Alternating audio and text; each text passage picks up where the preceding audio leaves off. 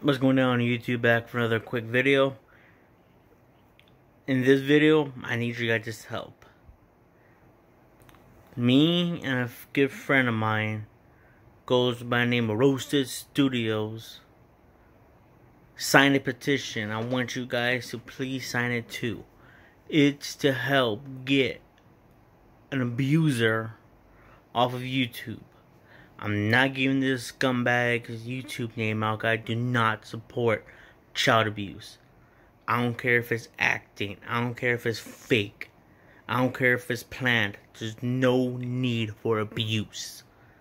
Whether it's planned out or not, whether it's fake or not, there's no need for abuse, and I sure as hell don't don't approve of that BS. I Approve of this scumbag neither.